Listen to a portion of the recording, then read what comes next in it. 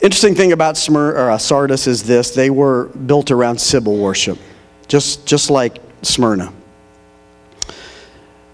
Their goddess of choice was Sybil. Remember, we talked about the frenzied sex orgies in the temple of Sybil? How she was so disgusting, the Roman Empire didn't even want to include Sybil into their cast of gods, and didn't for a long time. Such a disgusting thing. And um, had to do with castration. They're very bloody. They were cutters, cut themselves. Not only that, they were, Sybil was known as an oracle. So they were very prophetic. And you would come to the temple of Sybil like you would come to the oracle at Delphi, which is the most famous oracle in the Greek world. You would come there because this prophetess could give you a word. And I tell you, people like eh, at Delphi, everybody came. The who's who came because they wanted a word. Reminds me of the church today. if we have a prophet, everybody will be here. If we have a teacher or a pastor, you know, good luck. Hello. I'm not talking about you guys, I'm talking about just in general. Everybody wants a, an oracle, you know? And this is again why you have to be very careful with spiritual things. Desire spiritual gifts, Paul says. Just be careful about the spiritual gifts. It's like the third time I'm reiterating that today. I think maybe the Lord wants us to know that.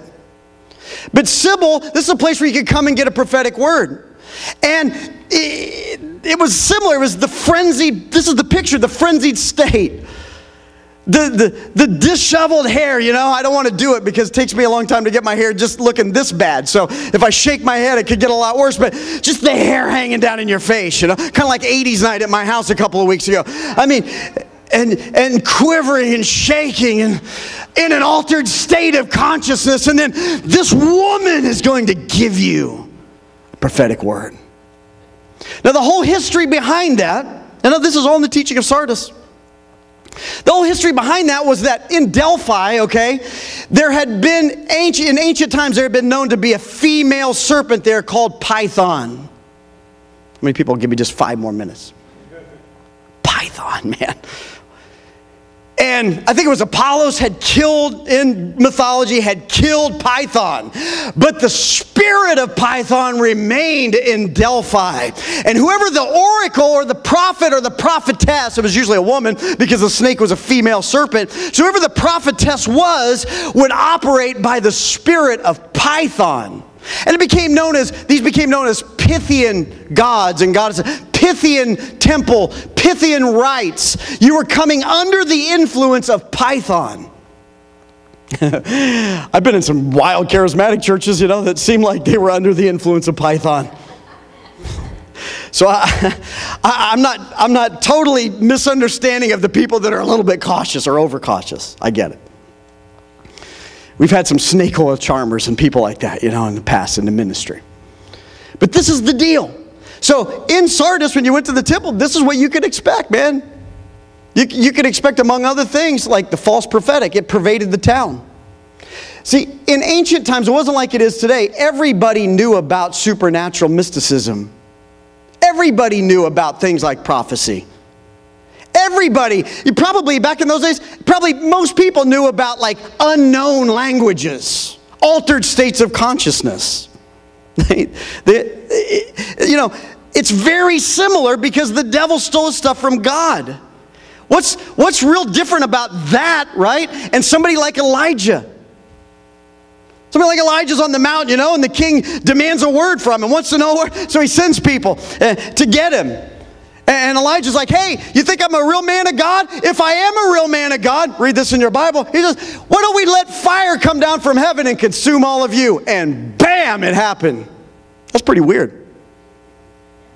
you guys are so quiet. It's in your Bible. And a second band comes. And they're like, hey, hey, King so and so demands Elijah. I think it was Ahab. He demands that you come and give him a word. Well, I said, Oh, yeah? Demanding of God? Oh, God doesn't operate like that. That's the pagan world that you're used to. God doesn't operate like that. You wait to hear the invitation from God. You see, even in the New Testament, these things operate as the Spirit wills, not as we will. We don't just go to prophecy conferences and learn how to prophesy. Man, we get close to Jesus. I don't need a prophet to teach me how to prophesy unless they're close to Jesus. You could come all day long in Sardis, man, you could talk about supernatural things. In fact, like I said before, when Paul went to the city of Philippi, okay, that's what happened. He went down to prayer, and there were people already praying down by the riverbank in the morning. They were Pythian servants of Sybil. And one of those people stood up and said, Hey, these men are from God. Started prophesying, and it was true. These men are from God. Paul and Silas are from God. Trick of the devil, try to attach himself to what God's doing, make himself look better. They knew they couldn't overpower Paul, couldn't stop Paul. The spirit of Python couldn't stop Paul anymore than they could stop you. Unless you enter into agreement with it. If Paul had said, Hey, you're a, a fine candidate for my prophetic team, join me, would have been a different story. But Paul tested the spirit and thought about it day after day. It wasn't just a one day thing. Thought about what's going on here, what's going on here. And finally, the Spirit led him, and he cast the devil out of the person and said she had a spirit of divination. That's what it meant. She had a spirit of python. See, these are dark cities. And so, if the devil can't get you one way, if he can't lure you in through the Midas touch, become a Christian and you'll get all the gold you want. He'll lure you in through. Become a Christian and you'll get all the words you want.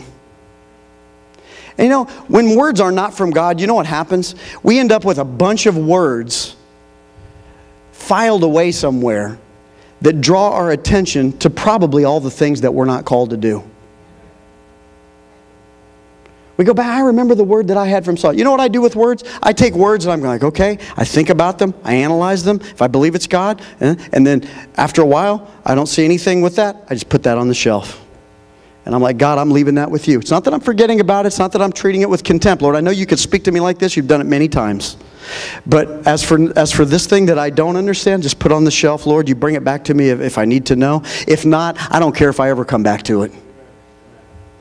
Because I don't need a prophecy. I serve the greatest prophet in the history of the world. Man, every time he speaks to me, it's a prophecy. Are you here? Okay. Okay.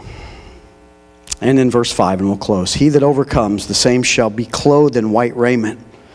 It's the picture of a bride, it's the picture of the kingly ceremony that's about to be revealed in the rest of the book of Revelation. You see white raiment throughout, and different scriptures as we go onward, the ritual that's happening in the heavenly temple, and the vision that John's having. Everybody gathered around the throne of God, especially the martyrs, are dressed in white.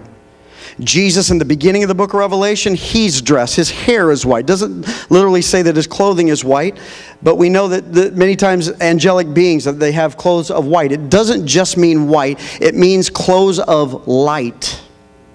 I want you to get that. It means that you're dressed in glory. You're dressed in the, the, the, the, the aura, so to speak, if I could use that word, of God Himself. You're, you're surrounded with the presence of God and you're enveloped in God. Whoever overcomes, and that's what these seven messages are about. They bring every message, Jesus brings every message to this point of if you overcome, I have some things for you. He said, I have white raiment for you. And he said, I will not blot your name out of the book of life. There's a way that you can know that you know that you know that you're saved. And again, I've said it a hundred times today just simply keep current with the Lord Jesus Christ. If you're if you're, if you're right with God today, you'll be right with God then. Amen? And He will not blot out your name, inferring that He could and probably will blot people's names out of the book of life. I don't know how once saved, always saved people keep their doctrine when you got verse 5 to deal with, but a lot of people do. Get in the Bible, read it, and see what you think. But I will confess His name before my Father and before His angels. So I like that. At the end of the day, really what it's saying is this, and then verse 6, he has an ear, let him hear what the Spirit is saying to the churches. At the end of the day, it's just a short little message to a, a church, but it's saying, look, represent Jesus well today. This is a message to leave you with today. Represent Jesus well today. If you've been hurt and you're still licking your wounds, are you representing Jesus well? Probably not. So this is what you do. You say, God, I choose to forgive. I don't want to forgive. It doesn't even sound right coming out of my mouth. Maybe I'm still mad about it. I'm still upset. I'm hurt. But Lord, I choose. You see, choosing is the thing. Choosing, not feeling. Christianity is not about feeling, it's about choosing. Feelings follow choices.